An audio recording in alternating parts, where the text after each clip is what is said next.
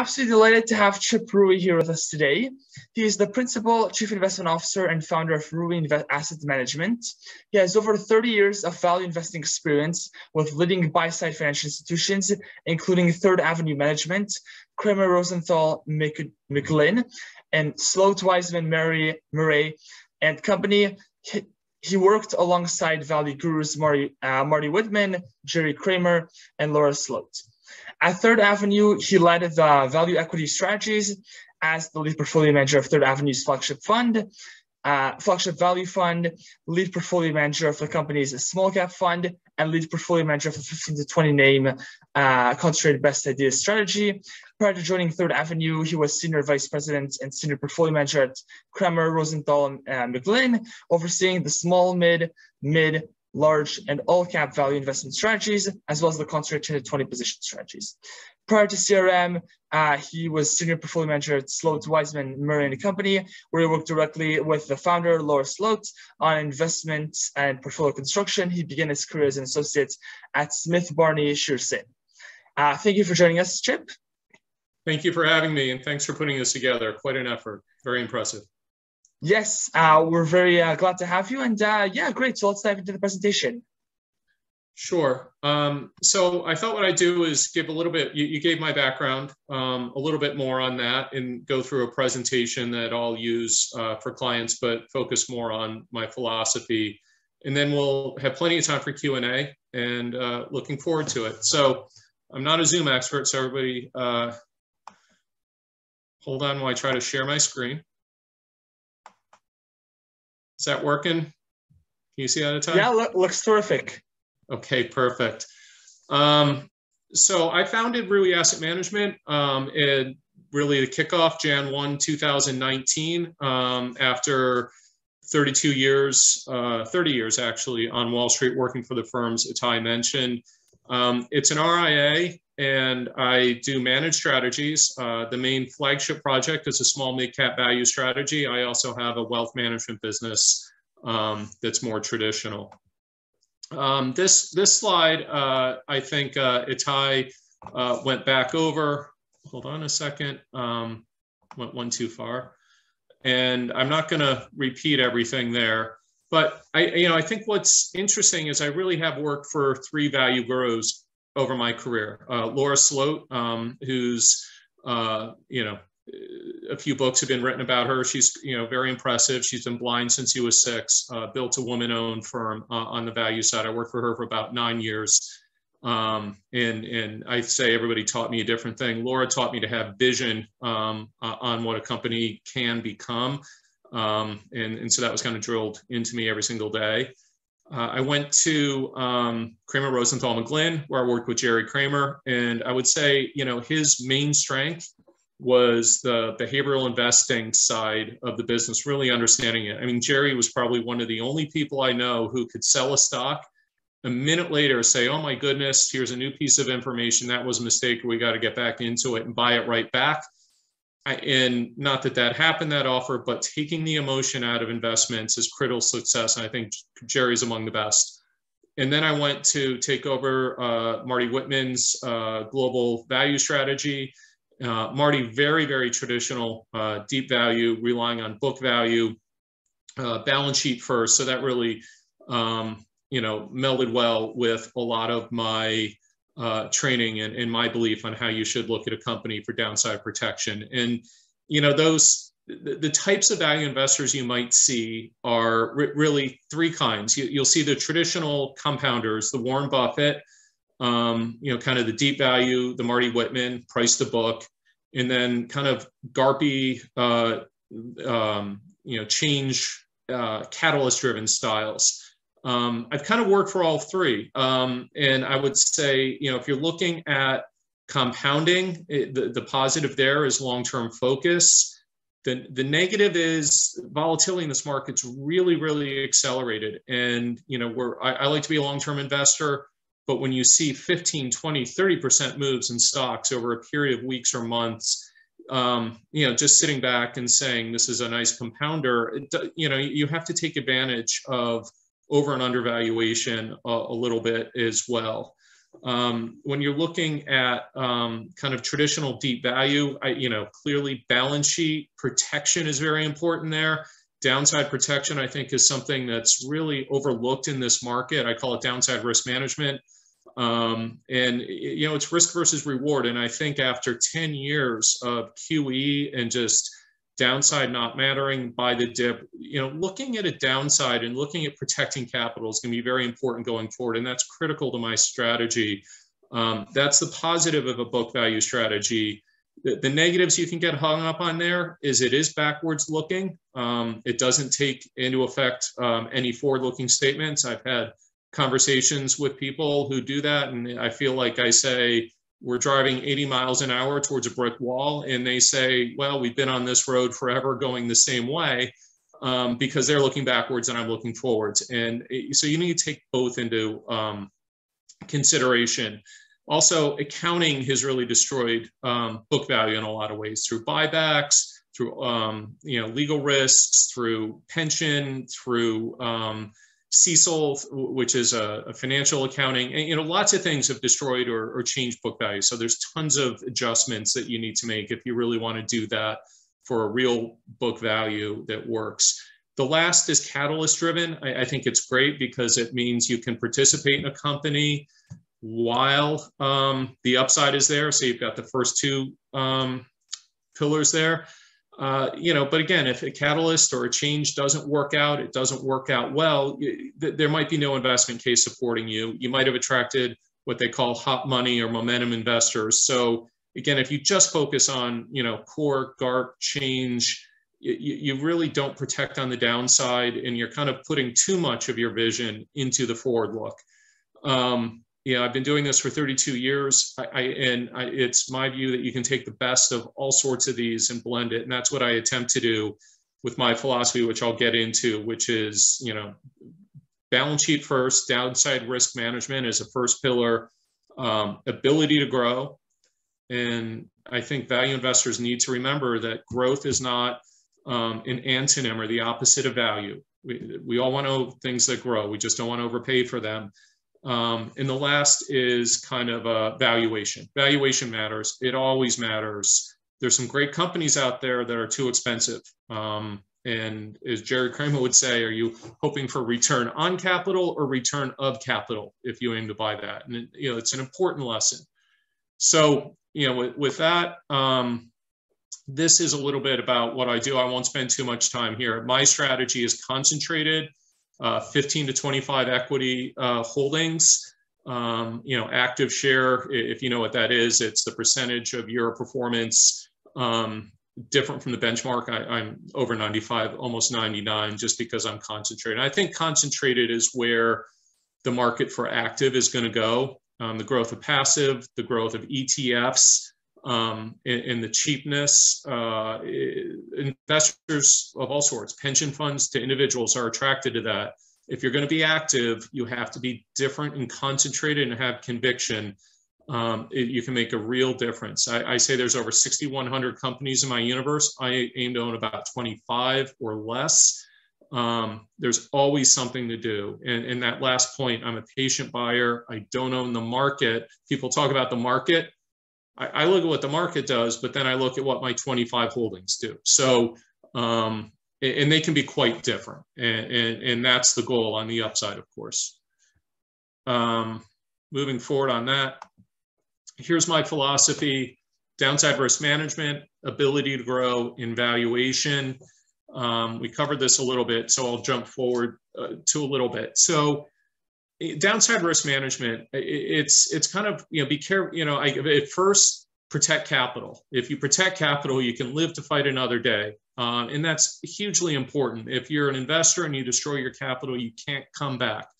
Um, so you know i look for things first uh, balance sheet first. What i'm looking for when i say you know risk management on the downside low levels of debt. That's going to be important for the next few years. Uh, you know a lot of you don't remember the 1970s um, you know, I would ride my bike down to 7-Eleven and buy a, buy a pack of bubble yum for 15 cents. A week later, it was 20. A week later, it was 25. I mean, inflation is, is horrible. And if you've got variable linked debt, um, you know, those payments are going to accelerate. So watch out for debt, watch out for um, floating debt. Um, and you want companies, if they do have debt, you know, you, you can make a lot of money with the appropriate amount of leverage, but it has to be well covered by operating cash flow. Um, look for off balance sheet liabilities, look for on balance sheet liabilities, pension, um, legal risks. Um, and you don't want to be in a company that has to raise debt or equity in a downturn. Um, it gets ugly quick. Um, I, I, saw it in the energy crisis when the utilities were forced to raise capital. I saw it in the financial crisis when the banks were forced to raise capital. The market will dictate massive discounts because they can. You don't want to be an equity holder. You want to be in a position to provide equity to those companies at times. The ability to grow is, is really compounding. Um, the metric I favor is return on invested capital. And remember, value, you know, growth is not the opposite of value.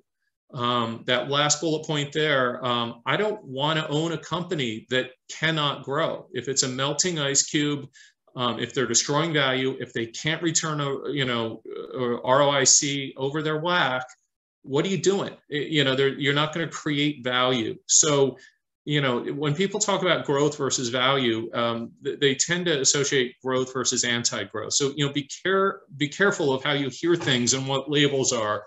Um, you know, there's a lot of value investors that that don't like that I say that, but it's true. I, you don't want to own something that can't grow.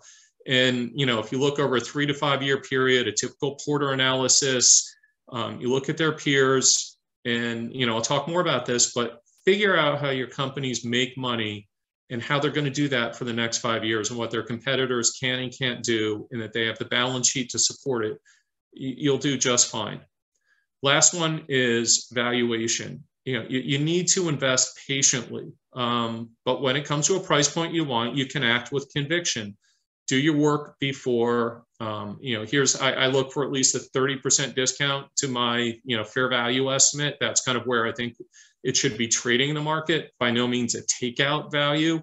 Um, i don't build takeout values into my price targets um, just because it might not get taken out. Lots of the companies i own do get taken out um, and can get taken out, but a fair value is where it should be trading today. Um, I look at a lot of tools. I look at normalized free cash flow. I look at earnings, discounting cash flow, sum of the parts. Um, again, it's like it, a lot of people that rely on one metric. I don't understand that. I look at them all, I triangulate them. They really should all point to the same solution if you do it correctly. If they don't, it's a reason to dig quicker. If if free cash flow and, and discounted cash flow point to 20 bucks and sum of the parts is is pointing to 40 bucks um, you know that's where you should be spending your work you know what are you what are you doing why is that different and that could be a competitive advantage or it could be you know maybe you're wrong on that last one or the first two so um, you know valuation matters look for upside versus downside always. And you know, if you're starting to value things on clicks or eyeballs or searches or members or anything else, you're getting into trouble. Um, I, have seen it over and over. Um, moving on a little bit. Uh, so um, it's important if you're an investor, you know, most if, if you're looking for a job, if you're a student, if you're looking, if you're, you know, considering hiring a manager, um, you want to see what the process is of an investment manager. You want to see that it's repeatable. You want to see that they can find ideas, um, and you want to see that they can continue to find ideas. This is this is kind of how I do it. It's really hard to put in a visual, but this is the best I could come up with. I think again in the small mid area I specialize in, there's over 6,100 U.S. companies. Um, the Russell 25 Value Index, which is my benchmark, has 1,847 companies. This is why I'm not a big fan of benchmark investing. If you stick with the benchmark, you're, you're leaving out over 4,000 companies. Um, and there's always plenty to do. There's always something to do. Um, my favorite way to find companies is fundamental. I call it connecting the dots. You know, read the 10Ks, talk to the management, conference you know listen to the conference calls the, you know the tone of how management says something is important so if you're reading a transcript you, you probably should listen to their voices too and how they answer questions you know, mesh it up um, look at their investment presentations Um, look at how a company makes money, do sensitivity analysis on raw materials, tariffs, political geographies, know where your company makes money. I mean, this week, look, it, it, there are a lot of companies that had big data centers and big workforces in, in the Ukraine, and it's a terrible situation over there. Um, but but you shouldn't have to go to your 10k, you know, in a panic. You should know that before you go in. Um, and you know, the other way I'll find ideas if I'm working on a company. You know, my favorite story ever is a, visiting a helicopter facility up in Canada they were messing around with graphite um, composite instead of metal, but they couldn't drive fasteners through the graphite because it was cracked. Um, so they had found a new glue that held as strong as uh, fastener or steel and held it together well. Well, the next question is who makes the glue? You know, so you know, think like that. Connect the dots. You know, go find that company and see if it might be worth buying. Um, you know, I do use screens. Um, everybody should. Um, but you know, just they're commodities. So you know, be careful what you're doing. You know, if you just look for PE or EBITDA, it's not going to tell you anything that investors and quants and computers can't see. The stuff I'll screen for is what's in my philosophy: low or no debt, net cash, high and improving ROIC, um, revenue, earnings, and book value compounding. You know, underperformers over three months or three years um, if does the sell side follow it at all? I hope not. And if they do, minimal coverage or mostly neutrals. If it's all buys, you know, where's the neglect? Where's the undervaluation? You know, if, if when things get better, if I can find one that'll get better and it's all neutrals, it's fun when they all rush to upgrade and raise their price target. Um, you know, and again, things matter when they matter. This is, uh, I'll step this up. Uh, it takes a longer. So work in process. Um, we can come back to this if anybody really wants uh, this presentation or any of these slides. You know, please email me, contact Itai, or contact me. Um, it's not a state secret, but you know, I want to leave some time for Q and there's a lot here. But I I, I call it WIP, uh, work in process. Um, it is a funnel, several steps. Create a financial model. Finalize an investment case. An investment case is why you own it and what your price targets are. Put it on paper that helps you remove emotion. Um, it helps you make a good sale when your price goes up. It helps you make a good buy if your price goes down. If it's not on paper, it gets emotional. You can't remember anything. So, you know, I would say all the work that you do after you're done, after you buy a stock, take some time and just document why you did it. Um, I say I either buy it, if it passes all my screens, I either buy it or I put it in my bullpen. My bullpen is like a baseball pitcher's bullpen. There's somebody ready to come in my portfolio competes for capital every day. Um, it does. If there's a better idea, if I sell something or a better idea comes along, it'll fight its way in. Um, or if something doesn't have a discount enough, say it's got a 20% discount and it slammed down 15, 20%, and it's got better upside versus downside than something I own, I'll quickly revisit it. But if that holds true, I'll consider swapping the name. Um, so, you know, having extra completed investment cases around um, and, and having those compete to get into your portfolio is, is a good situation. And again, I, I'm not a big believer there's never nothing to do. This is a little proprietary. It's how I build a portfolio. You get your investment case right. You get your price targets right. Portfolio management is easy. We all want to be PMs. Being a portfolio manager takes about five minutes if you do it right. You know, the best PMs are analysts. Uh, remember that when you talk to anybody. Um, this is the way I try to think through it um, in my head, and this is kind of what I see. I grade my companies A, B, C, D.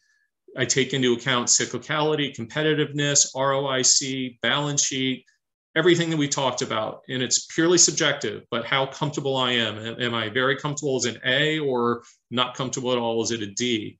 Um, on the other side, there's my upside to price target and it's just a graph. If if I have a company that is an A-rated company in my mind and I have 50% up, it's going to be a maximum. To, why not, right? Load it up. If it's a cyclical company, um, you know, chemicals, metals, um, you know, I 15, 20, 30% probably isn't enough to own it. Um, there's a lot of volatility. There may be, you know, or, or if it's a company three times levered, it's a lot for me, or something else is kind of wrong, I don't really want to own it unless I see 50% up, and then it would be a lower position size. So position size would kind of be high to low. Or if it's a utility that's doing great, has a five yield, you know, good balance sheet, good service area, but maybe 15% growth, you know, it's borderline. Why do I want to own that in a concentrated portfolio? Um, I might own a small position. So, you know, that's the way I think about building the portfolio. Um, it's not all upside versus downside. Don't make your most upside price targets your biggest positions unless the quality aspect justifies it. Um, I've seen that go poorly over my career. This is another way um, I think about risk as a portfolio manager. We all look at indices and we look at sector exposures. I tell you what, sector exposures don't tell you anything about risk. They really don't. Um, you know, what's your China exposure? Look at that company. You know, GrafTech and Hillenbrand, EAF and uh, HI and Herc are all industrials, and PLB is a technology company. They all have China exposure. But if I'm looking, you know, I don't see that. Um, I, I, can see uh, other things that aren't here, and I, I, I take my risk ratings and, and, sort them too. I don't want to have all A's. I don't want to have all B's. I don't want to have all C's. I like to mix those. Um, you know, a good example of what I'm talking about is travel exposure. Um, and just hypothetically, if you own a hotel, you know that's going to be in consumer. You could own a International Flavors and Fragrances, which is a, a chemical. You could own a Boeing, an industrial. You could own, um, you know, Avis car rental, which might be in business services, and those are all going to be classified separately, you know, according to an index. But if SARS is going to happen or COVID is going to happen, all those, the markets are going to fall out because you have a lot of travel risk in your portfolio. So when I look at risk correlations, that's, I, am trying to see how my portfolio behaves on any given day. And it's not all negative. Um, I look at activists vulnerable. I love to get activists in my portfolio. I think there's a lot of companies where an activist could have a field day. Um, I'm not an activist. I'm more of a constructivist. I'll talk to companies, but I, I don't file 13Ds. Um, I, you know, I, I try to do my coaching behind the scenes, so to speak.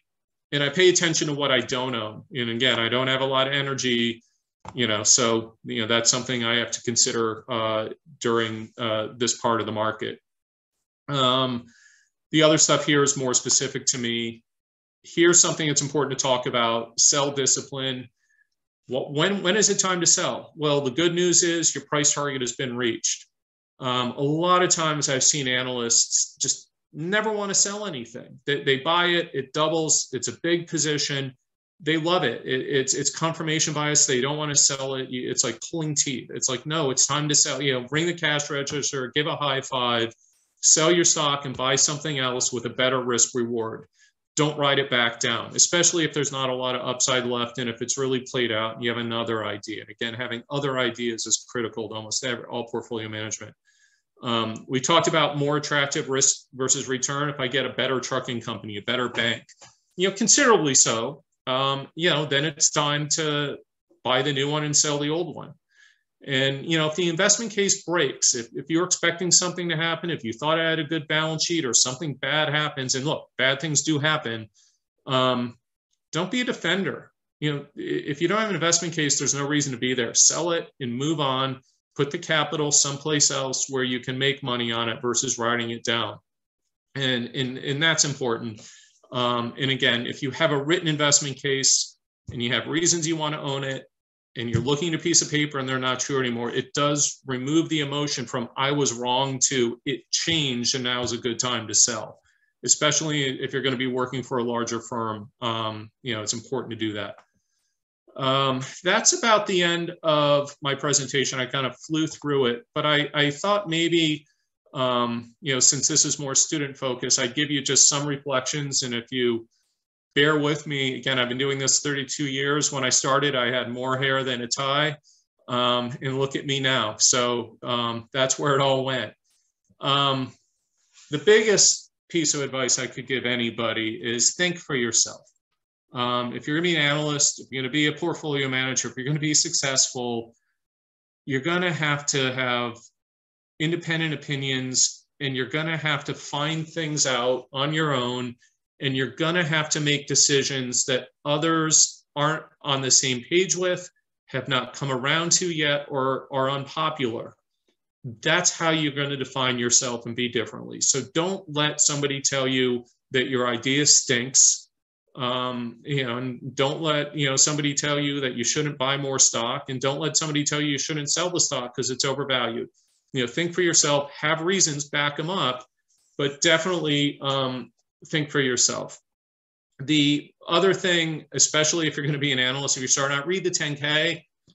I can't tell you how many times uh, people that have been, you know, the sponsoring analysts on a company uh, come to me. They don't understand how the company makes money, where they're located, what the balance sheet looks like, what the cash flow statement looks like, what the accounting conventions are. It's all the, the 10K is just like a little answer key to your company. Think it that way. Read it. Read it more than once. Read it twice. Print it out and have it on your desk. Um, it's important. Um, you know, that's everything that they're telling the government is in there. They put everything in to avoid lawsuits. So it's a great place to start. It's not where you should finish, but definitely where you should start. Um, if you're going to have an investment case, think like the CEO. This is the Laura Sloate vision. If I was running this company, what would I do? How would I make money? Why, why is the company not doing this? Why is the company doing this? That's the kind of conversation you want to have with the management team.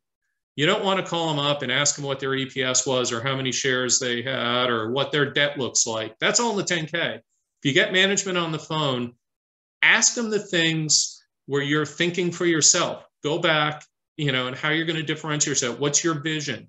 Would you spin off this division? Would you buy back stock? Why is your balance sheet unlevered? Why are you three times debt? You might three times debt might be too little, depending on the company. You know, scares scares me as a value investor, but um, you know, if they're growing and, you know, it's all locked in, might be fine.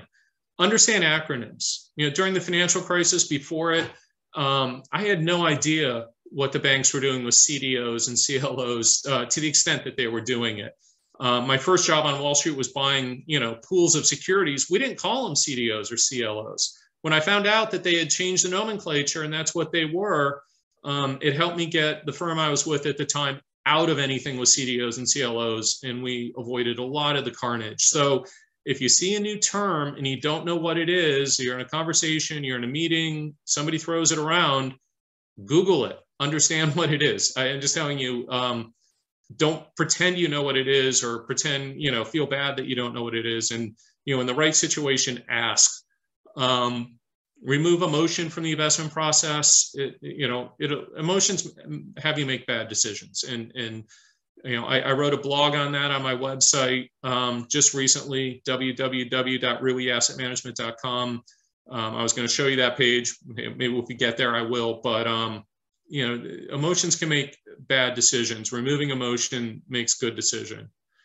Um, reject labels. I've talked about that. You know, value, growth, core, GARP, good management, bad management. It means nothing. You know, just because your stock is down doesn't make you a bad manager, and just because it's up doesn't make you a good manager. And you can make a lot of money with a good manager whose company is going through a bad time. I had a company report last night, ABM Industries. Um, and they do service. They they work in a lot of schools um, from Jansan, watching the desks, the front desk, the doors, um, the cafeterias, all sorts of things like that. The cleaning, their margins, um, you know, now that everyone's gone back to school, are 100 basis points higher in that segment than they were before the crisis. You know, that's great. Never waste a crisis. They rethought their cost structure they rethought their people and when they built back they built back better um, and it's showing in their margins. So you know their stock was down like everybody else's. It didn't mean they were bad management and the management did great um, during that downturn. Um, when you're researching something attempt to prove yourself wrong once you get your investment thesis. When you get the first twinkle in your eye oh i think google this or i think amazon that or, or company x that you have your investment thesis formed. This is why I want to own the company. From that point forward, everything you do should be trying to prove that wrong. Why is it a bad idea? Why is the balance sheet no good? Why is the management terrible? Why don't they know what they're doing? Why won't the competitors eat their lunch? The more you cannot prove yourself wrong, the stronger conviction you will have to own the stock and actually buy it. When news comes out and the stock's volatile and there's a chance to buy it, if you if you've already been over that risk, you'll be buying it, and others will be selling it because they won't understand. Um, So it, you know it, that's how you should don't don't try to prove yourself right. You know if it's a waste of your effort. Hunt, be original. That goes back to think for yourself. No portfolio manager wants you to come in and tell them that Apple has a very loyal customer base, right? I, I mean, they've got 75 sell side analysts writing that every single day. You know, you know, tell tell me something I don't know, a company I don't know, or something I don't know about a company or haven't thought about. Um, that's how you're going to get your stock bought. That's how you're going to get noticed. So you know, think for yourself. Um, say I don't know. If you don't know a label, if if you know if somebody's if somebody's asking you, especially if you're an analyst, you know how much debt do they have, or you know is their debt uh, how much of their cash is offshore? If you don't know the answer, just say I don't know. But then the most important next words out of your mouth is, but here's how I'm going to find out. And I'm going to call the company. I'm going to go to the 10K. You know, I forgot, whatever.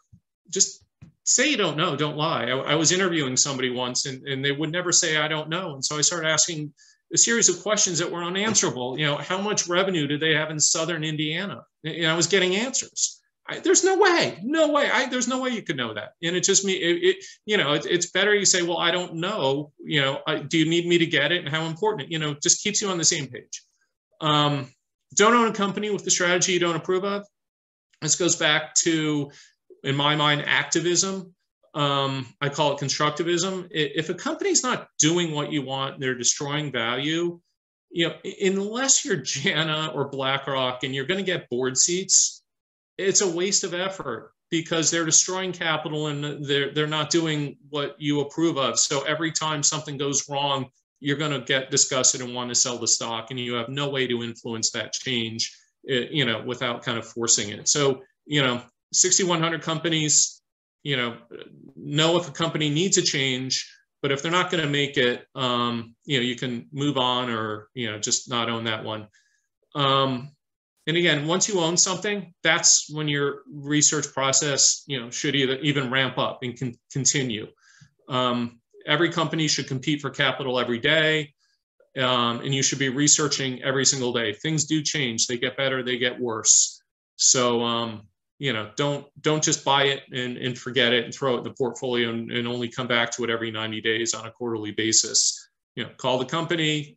You know, call the competitors you know, if you are a street analyst and, and their competitors coming to town, go to their conference or go to dinner with the CFO of the other company if you can. And, you know, ask them why your company's terrible. You know, it'd be interesting in what they say. You know, they might point out a weakness or they might just say, no, real strong competitor, you know, but, um, you know, just keep working on it. So, you know, I, I, went a little bit longer, 25 minutes left for Q&A. I've, i can talk forever and I've got more to do, but, you know, I'll turn it over to you right now, Itai. Yeah, thank you so much. I thought that was a, a, really great presentation and some really terrific lessons to be taken from that. And uh, yeah, excellent. So let's dive into the Q&A. So our first question is, how did you initially become interested in investing and in particular in value investing? Um, great question. So I grew up in Detroit, and you know, my dad worked for an automotive company, and it's back to you know, kind of coming of age a little bit in 76, 77, 78, 80. It was all inflation, you know, it was all down cycle. It was, you know, not fun in a lot of ways. Bubblegum was more expensive every week. Um, and it just kind of made me ask why. It's also why I'm a value investor and why I worry about the downside. I, I you know, kind of first came into the business with downside. My first job out of, uh, I graduated BC in 1990. My first job was buying portfolios of mortgage backed securities for a, an investment company. Um, interest rates were 8.5% on mortgages, 9%. You know, it, it, it just, you know, just I, I think back to that and and I you know I don't know I, I've always kind of been fascinated with that and also I guess I've also liked to take things apart. I got walkie talkies when I was young and I played with them, but then I took them apart to see how they work. So I take apart companies to see how they work. So I don't know. It's just kind of a natural fit of kind of where I came from and what I like to do. Yeah, absolutely. I think that makes a lot of sense.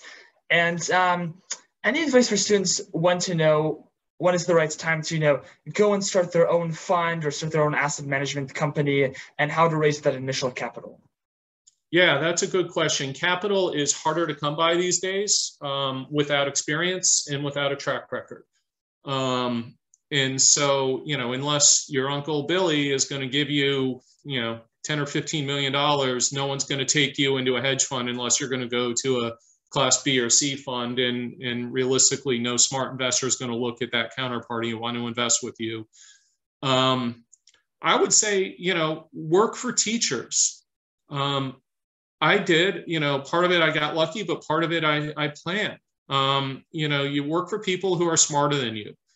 Um, you know, I, I had a philosophy that I was never going to work for somebody I thought I was smarter than, and there's a lot of people I'm not smarter than, luckily, but you know, they continually teach you. And I would say, you know, Laura Sloate, I sat across the desk from her for about eight years, and every single day was a clinic. Um, you know, and then I learned from Jerry, I learned from Marty, and um, I think only when you think you've learned enough and you've also kind of learned how to manage a portfolio of things and you've lost some money along the way you know then you know it just you, you will get into a tough market um, you will get into a good market. So you know if you want to do it right and protect your capital and have it to fight another day and i'm seeing today you know again the market's got a little volatility and all these hedge funds are shutting down.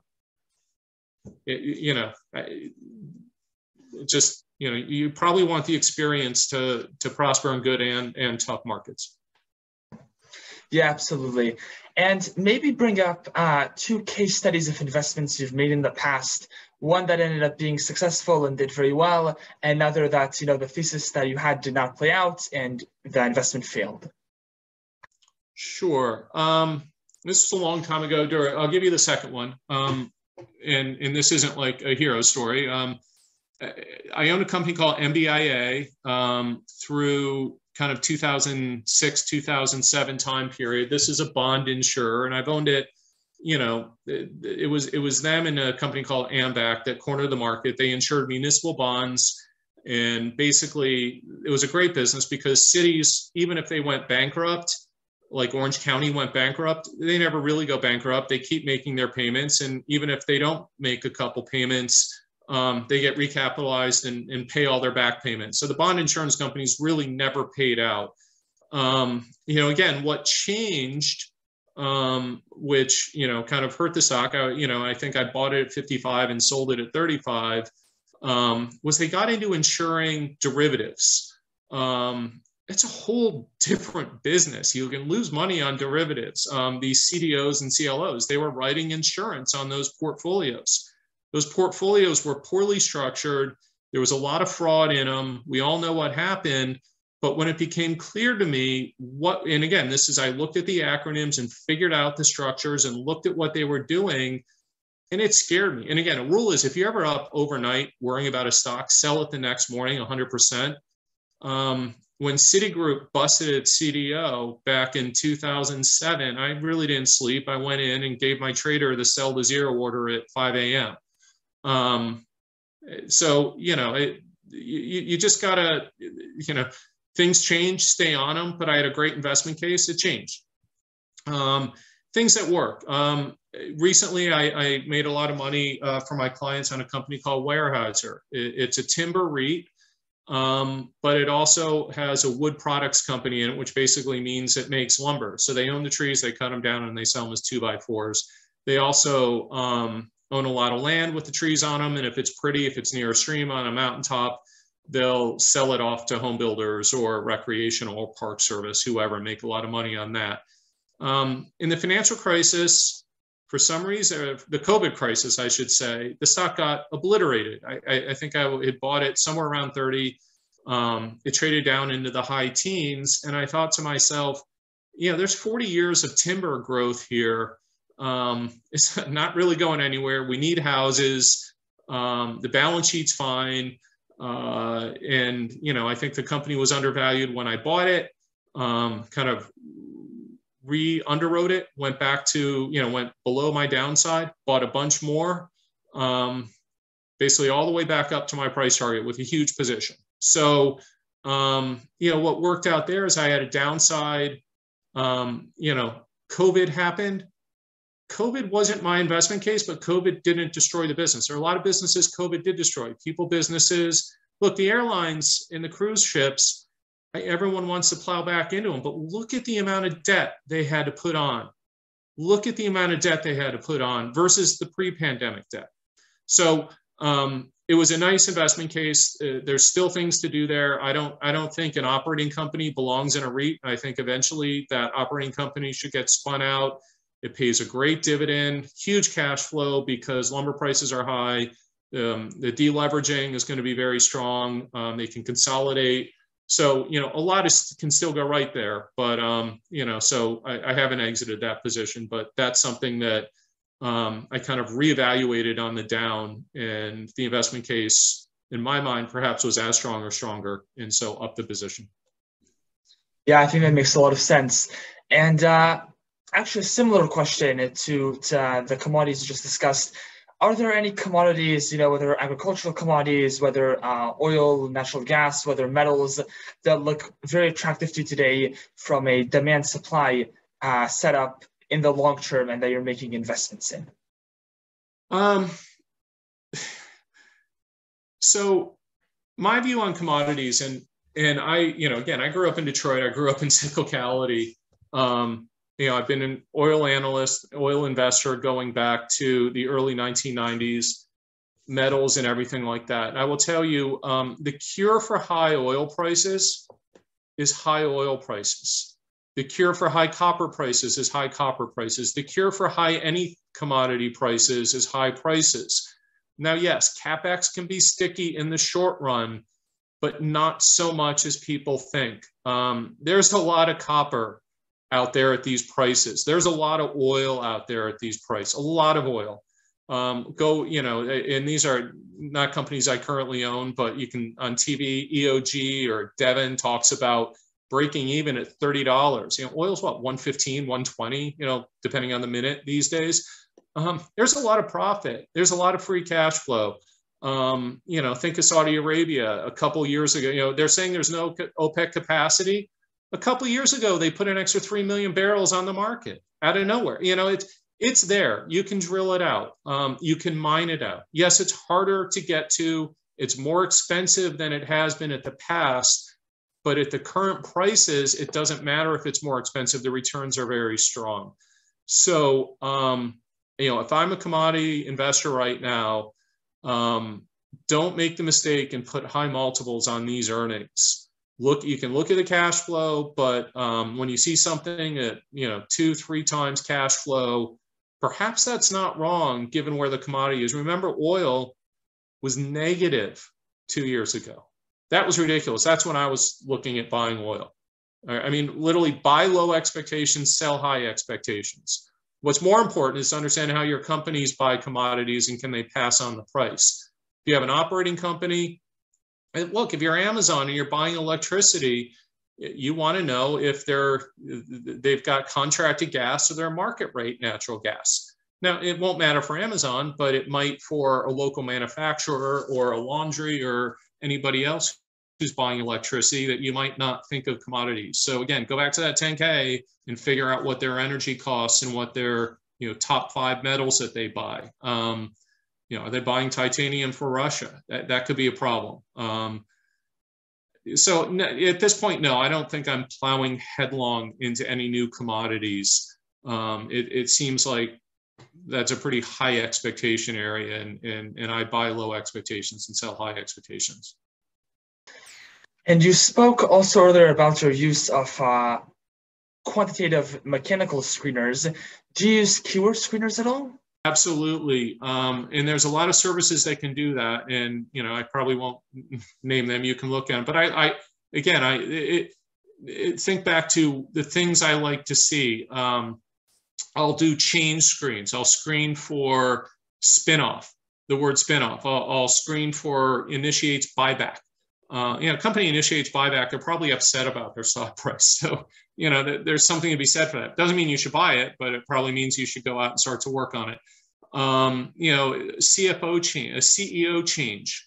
Um, I'll, screen for that. Um, you know, so a lot of those word searches are very important. I know there's algorithms that can do that now, and, and now and Quantset can do it now too. But um, you know, keep that in mind. And you know, the other thing on those searches, if something happens, um, the market has a short time frame and a long time frame, and they might react to a piece of news over a week, you know, or a day. You know, sure, the stock will pop after earnings or after something's announced. Typically, the market either forgets or moves on and the stock comes down or it underreacts to good news and doesn't price it all in. So just because something is popped off a screen or something that you saw everybody else saw and there was an initial move, get the work done. If nothing else, put it on your bullpen list or whatever you want to call it, because there could be an opportunity down the road to put it in your portfolio um, and you want to be ready. Yeah, absolutely. And can you speak some more about how you uh, analyze management? Sure. Um, you know, talking to them. Um, again, you know, anybody, you know, email the investor relations. Uh, they'll typically call you back, the IR, and it's a little bit of a ladder. You know, if if if you talk to them and you have good questions, they understand who you are. You can probably talk to the CFO eventually. Um, you know, maybe the CFO, CEO will give you some time. I mean, you're probably not going to get on the CEO of, you know, Procter and Gamble, but if you're looking at two, three hundred million dollar market cap company, probably give you half an hour of his time. Um, but you know, before you get on that call, you've got to have some questions to ask. Um, you know, read the Ks, read the presentations, read the conference call, know the markets they're in, know what's going on. Um, you know, the, they don't the managers, in my experience, love to hear investors who understand their company and really want to ask things other than what's EPS next quarter? Do you think your margin can go from 10.9 to 11.0? You know, if, if you're asking, um, you know, something like, well, if this facility gets fully loaded, you know, what sort of revenue potential is, you know, how are you getting uh, employees there? And, you know do you have the business or how much of that future business do you have to win? How much of a risk is this to you? What's the downside of going into a new facility? You know that sort of thing um, or you know why would you not build another facility? You know if i was you doing your job i'd build another factory you know. Sometimes i ask questions like that and i've been proven wrong quickly but you know at least i got the answer. So look, managers like to tell you about their companies, but you know they don't want to waste their time with somebody who knows nothing about the company and is just you know going to ask them something like, you know, what's your SG&A going to be next year? You, know, you might ask them why your SG&A is high, what the factors of SG&A pushing up and down are, and what are the biggest sensitivities for you in your SG&A. That's the kind of conversations you should have. Yeah, absolutely. I think that makes a lot of sense. And um, are there any industries that you've never invested in uh, in the firm because you feel like they're outside of your circle of competence? Outside my circle of com- competence. Um, no, but um, look, this goes back down to every company. Bring it down to the balance sheet, the free cash flow, and the return on investment capital. Yes, some companies are hard. I typically don't own biotechs um, you know, because it's just it, they're too binary, and I don't know if the compound's going to succeed or not. But neither is the management team, um, and I also don't, you know, I'm not a doctor, so I don't write the drugs. So you know, there I'm a little less confident, but um, I have on larger biotechs that have a portfolio of products, and if there's a base level of cash flow, approved drugs you know the scripts look pretty steady. And i can say maybe i'm buying the pipeline at a discount or getting it for free. That you know that's one thing. Um, also you know technology is exciting but you know there, there's a lot of stuff out there that i think people are going to get hammered on and i again i wrote a blog on this mind the gap it's all my days riding the new york city subway the the speakers say mind the gap but there's a gap between where growth investors have um, companies and where a value manager would buy it. And, you know, look at Facebook and, you know, the, the stock's broken. It's all the way down. Look at Peloton.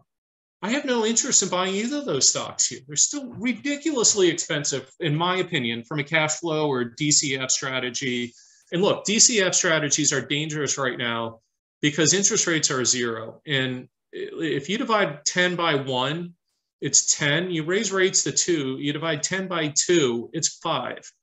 You know, now compound that out and put it all in the terminal value. Um, and I've written about that on my, so you should look at some of my blog. I've written about that, the, the dangers of DCF investing and these models and these quants. But, um, you know, it, again, I think some of these things, some of these growth companies, um, whether they're cybersecurity or data or you know meals that are trading at you know 20 times revenue 35 times ebitda they're never going to live I, I don't want to say never but you know they, they most likely won't live up to their growth expectations um, so to me that's the biggest you know i can figure out what they're trying to do or i can call the management and, and talk about them and back to management if, if you the ir might put you in touch with somebody to help you understand a technical issue that you don't i've had that um, or you can find an outside expert. Um, so again, you need to know the levers. You can learn it. You can do the work. But uh, to me, it's more valuation based and having appropriate expectations. Yeah, absolutely. I think that makes a lot of sense. And um, what are some of the long-term economic impacts that you see as a result of COVID?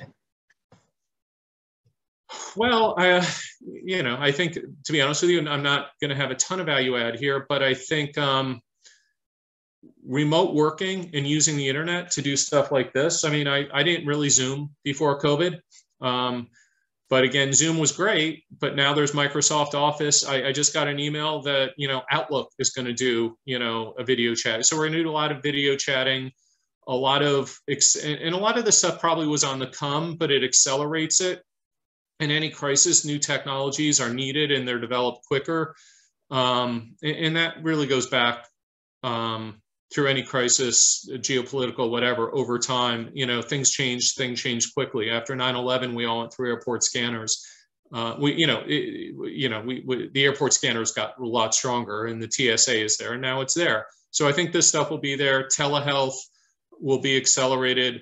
Um, I think one of the things nobody talks about is the amount of stimulus the U.S. government just threw out there. Wait, you know, our national debt um, went up 9 trillion in the past two years from 21 trillion almost 30 it's staggering. It almost doubled. There's 30 trillion of debt sitting on a 10-year treasury where most of it is you know definitely over half. Um, and those rates were under one you know and, and now they're crossing over two. Again when you know when my first class at boston college in 1986 for finance the risk-free rate was 10 which made it easy but that's what the interest rate on a 10-year treasury was. So you know doing all your capex modeling was easy because the rate was 10% um, my god what happens if the interest rates on 10 years go back to 10% um, you know think of what that'll do to the budget. And all that money that the government threw out you know for better for worse I, you know i don't want to get into that conversation but it's the you know again remove politics from it too. Just what, what the pol- you know judge what they do not what they should do and and the debt's there. Um, so we got to think about that. We got to think about interest rates um, and, and really what the capital structure of the company is going to be what it means for taxes and future spending on government programs. You know that's probably a longer term impact of covid that people not directly to COVID, but exacerbated by COVID that people may not be fully thinking through. Yeah, absolutely. And how important do you think either a MBA or a CFA is in the investment management industry, and in particular in regards to value investing? Um, look, I I know people who are good value investors who don't have their CFAs, but um, my strong advice to anybody thinking of being an analyst is get your CFA. Um, you know, I, I, also, you know, one of my good colleagues always meant to go back for his MBA, never did because he, you know, did so well at work and the opportunity cost got high. So, you know, I would say, you know, an MBA is helpful, um, especially if you're not happy with your job. If you want to switch, you want to break into the industry and you're not there. Um, if you are there um, and you're getting trained by your firm, it's less applicable. But if you don't have your CFA, people are going to ask you why. And you're going to come up against somebody else like Chip Rewey who has his CFA. you know, that's the long and the short of it. Um, get it. it, especially if you're coming out of school or grad school. You know, I got mine right after grad school. It, it was a lot of work, but I just spent two years studying for it, basically, and and you know, it's a process, it's a hurdle, but um, that's my view on it. You know, it, you know, it, you don't want people asking you your whole life why you don't have it. Now, yeah, that makes sense. Again, I, you know, I, it, it covers a lot of things and, and how much of that skill set do I use every day? Um, you know, that's a different conversation. Yeah, that makes sense. And uh, for a concluding question, uh, what are the most influential events of your investing career? Um, I would say the financial crisis to begin with. Um, that uh, made me think about banks and capital preservation and everything like that uh, differently. Um, you know, if you're Ford and nobody's buying trucks, you can shut the factory and furlough the workforce and they'll come back. If you're a bank and you lose your capital, you're done. It's gone. If you're an investor, if you lose your capital, you're not coming back. It's not like you can turn the electricity back on. So, um, you know, that's really the big lesson. I think 9 11 in the tech bubble um, look, the tech bubble existed ever since Greenspan said irrational exuberance. It took 9/11 to break it. Um, you know, we we have a valuation bubble in this market now. It is breaking slowly. Maybe they'll, you know, as Laura Sloate would take, drag them all out into the street one by one. That's probably the best solution for the market. You know, not have them all break at once. Um, but you know be careful of overvaluations in, in the status quo and you know 9-11 can tell you they don't call it the unexpected because you see it coming um, so that's where my focus on downside comes from and then just i guess again growing up in detroit in a, in a high inflation you know downside cycle you know you know there can be you know from the biblical perspective seven years of fat cows and seven years of lean cows. So you know make you know try to make your investment strategy and your companies withstand both. Yeah absolutely. Uh, thank you so much. This is a really terrific session and really appreciate you taking the time out of your busy schedule to speak with us today. No worries. Thank you for the opportunity. Good job absolutely. Thanks. Have a great day. Okay. Bye-bye